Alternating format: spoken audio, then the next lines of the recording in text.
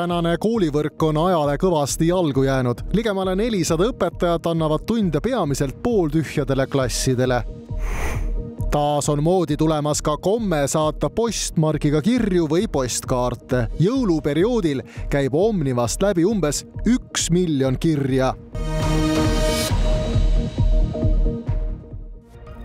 tere õhtust, kolmapäev, kahekümne teine november, eetris Tallinna uudised Eesti suurim koolitoitlustaja Daily selgitas välja, et kõige vähem läheb koolitoitu raisku Tallinna Mustjõe gümnaasiumis. mida nad siis paremini teevad ja kuidas?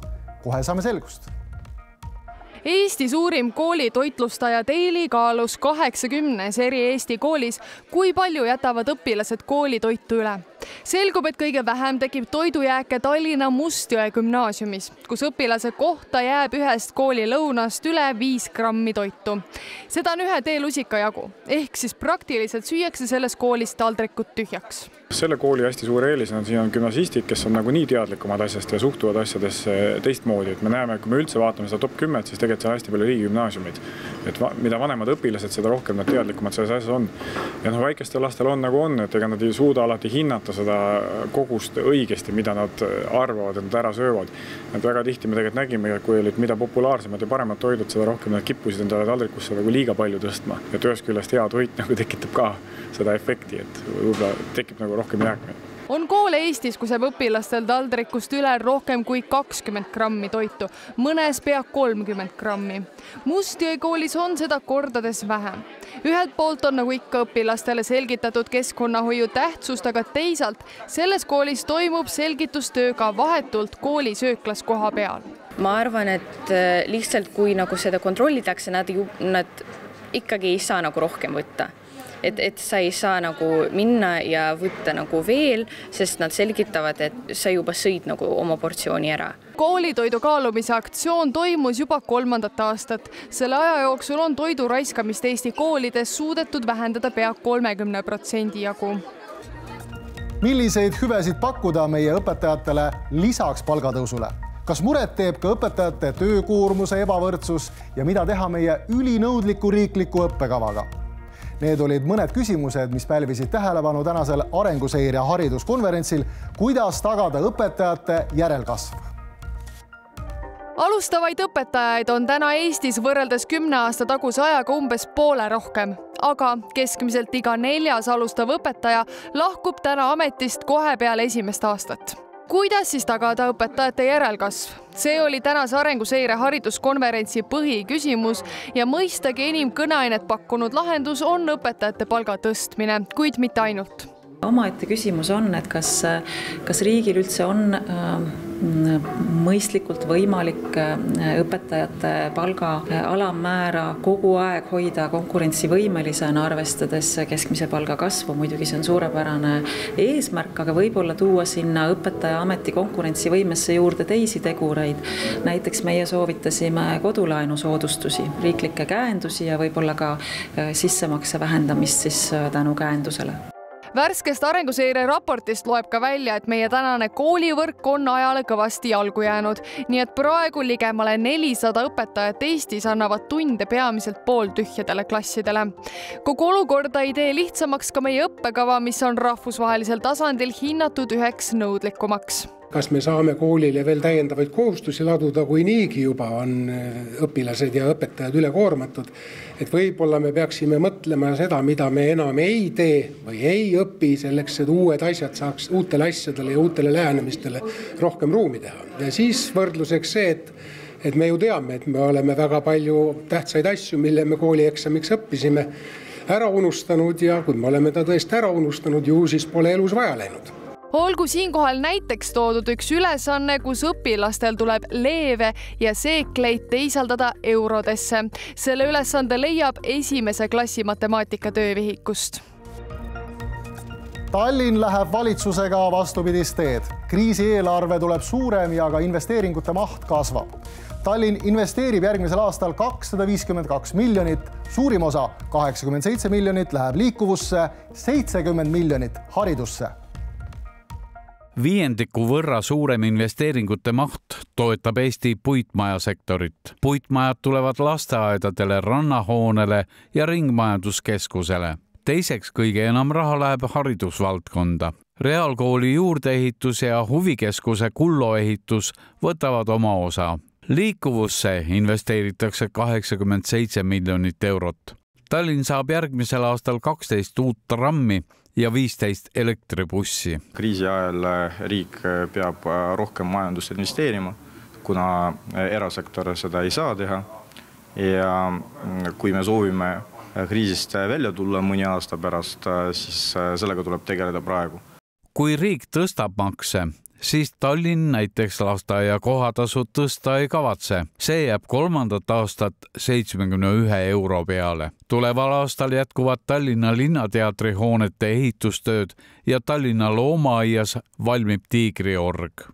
nii nagu terve selle Tallinna linna kahekümne neljanda aasta eelarvega eh, on linn võtnud väga julge hoiaku, mitte midagi kärpida, mitte midagi optimeerida, vaid eh, hoida hoida kõike senisel tasemel ja aidata inimestel üle saada äh, nendest muredest, mis neil on, siis tegelikult on täpselt sama vaade kehtib ka kultuurivaldkonna kohta. loomulikult, kui me räägime summadest, siis äh, Tallinna Linnateatri ehitus kestab veel ka terve järgmise aasta ja summaliselt on see kindlasti ka kõige suurem märk ligi nelikümmend viis protsenti investeeringutest kaetakse linnakassa vahenditega ja ligi viiskümmend protsenti laenuga linn teeb eelarvesse ka Kopli komando ülevõtmiseks eraldi rea, sest linnal on plaan komando siiski säilitada selle hooaja viimane tantsulõuna Kristiines tõi saali rahvast täis. nagu ikka, saatis tantsijaid elav muusika, seekord ansambel Talent. rahvas oli aegsasti saali kogunenud ja ootas kannatlikult, millal ansambel laulma hakkab kui tihti teie käite siin? no iga kord, kui siin on üritusi täna kohe nii uhkelt kikilipsuga. ja iga kord kiki. ja mul on.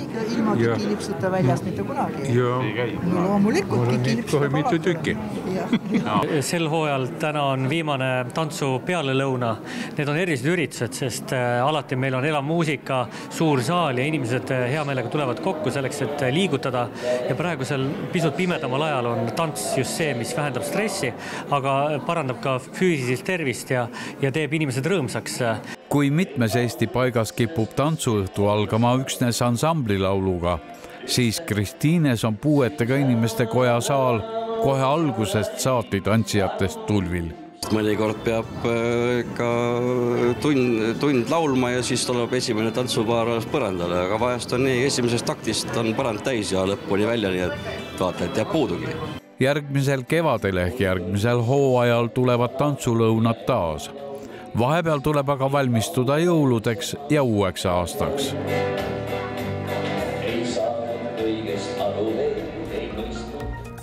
aeg on mõelda jõulupakkide ja kirjade saatmise peale, et need õigeks ajaks ka jõuluvana kingipakki jõuaksid. muuseas, Omniva on lubanud, et kõik, kes jõuluvanale adresseeritud kirja teele panevad saavad jõuluvanalt ka vastuse.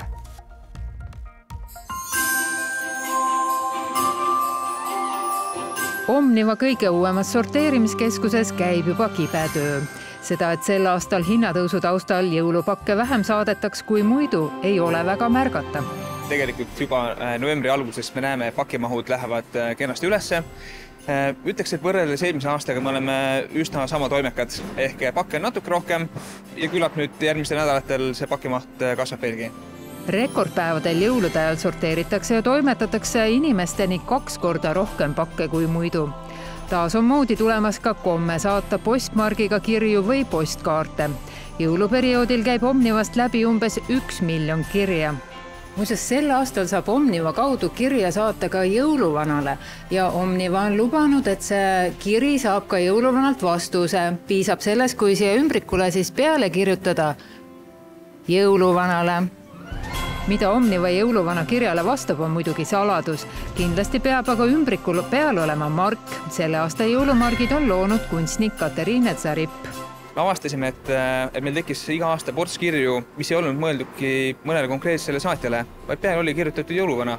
ja siis me ükskord leidsime, et kuna nad kõik olid ka tihtipeale lapse käe, käekirjaga kirjutatud, et tegelikult iga laps ju tahaks oma kirjale saada ka vastust. Ja siis me ei näinudki selles nagu muret, kui võtta see roll endale, kirjutada lastele ilusad vastused ja panna siis vastused teele kiri tuleks jõulude ajal teele panna hiljemalt kahekümnendal detsembril, et jõuluvana jõuaks sellele ka vastata. pakkide saatmise viimane tärmin on kahekümne teine detsember. siis jõuab saadetis Eesti piires jõuludeks õigele aadressile ning palve on, et saabunud pakile ka võimalikult kiiresti järele tuldaks bussijaam on küllaltki rahvarohke koht ning pakub suurepärast võimalust tuua kunst rahvale lähemale täna avatigi Tallinna bussijaamas ootesaalis Mauri Krossi maal pööripäev, mis on spetsiaalselt sellesse interjööri loodud. Mauri Krossi looming hakkas Mootorgrupp AS juhile Hugo Usulale silma kui kirev ja värviküllane, mitte üldse eestlaslik maalikunst. nii saigi tellitud Krossi maal Tallinna bussijaama ootepaviljoni.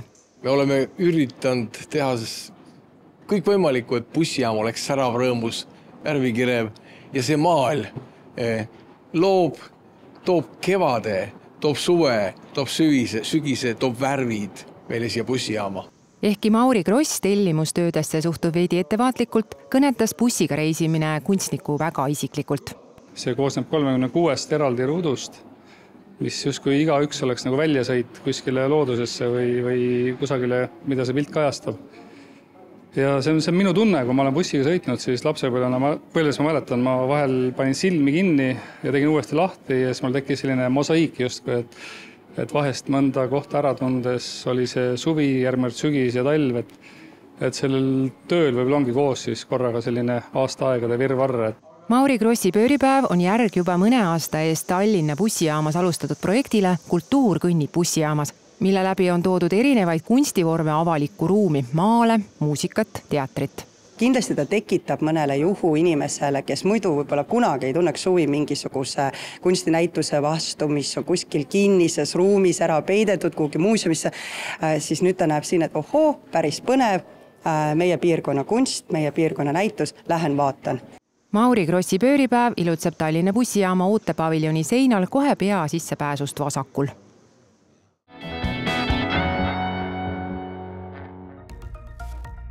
Sõle spordikeskuses annab trenni. Eesti meister Selver TalTech võrkpallimeeskond. Lasnamäe kergejõustikuhallis juhendavad treeningut olümpiavõitja Erki Nool ja Euroopa sisemeister Ksenia Valta ning Kristiine spordimajas linnapea Mihhail Kõlvart samuti on spordi hommikul võimalus külastada taliujumiskeskusi Pirital ja Nõmmel. koolidele näitab video teel treeningharjutusi ette olümpiavõitja ja maailmameister Gerd Kanter Tallinna lasteaedade lapsed saavad aga aktiivset hommikut veeta video vahendusel koos Lotte ja Roosiga. täpsem info tallinn.ee kaldkriips spordihommik.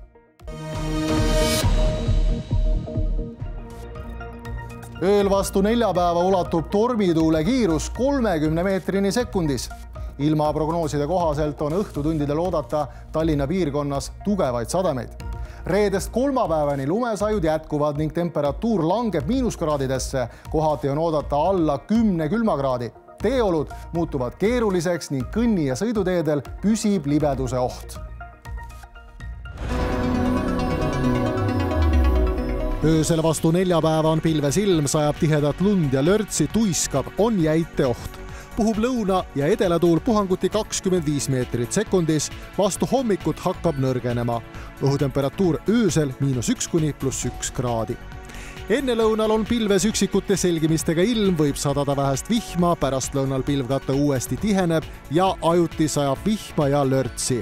Õhutemperatuur neljapäeval pluss üks kuni pluss kolm kraadi. õhtul muutub lörtsisadu taas tihedaks öösel vastu reedet on pilves ilm, ajuti sajab lörtsi ja lund, on jäiteoht. õhutemperatuur reedel miinus üks kuni pluss üks kraadi, päeval püsib pilves ilm, ajuti sajab lörtsi ja lund, õhutemperatuur reedel miinus üks kuni pluss üks kraad öösel vastu laupäeva on pilves ilm, ajuti sajab lund, õhutemperatuur öösel miinus kaks kuni miinus neli kraadi. päeval pilves ilm, ajuti sajab vähest lund, õhutemperatuur laupäeval miinus kolm kuni miinus viis kraadi. aitäh, et olite meiega, kohtume taas homme õhtul